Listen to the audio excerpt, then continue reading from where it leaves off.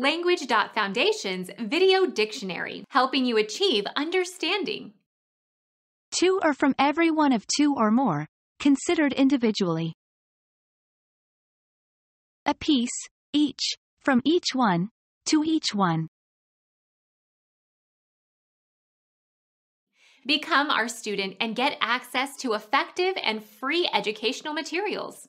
Subscribe to our channel to become a part of our growing community and to learn English effectively.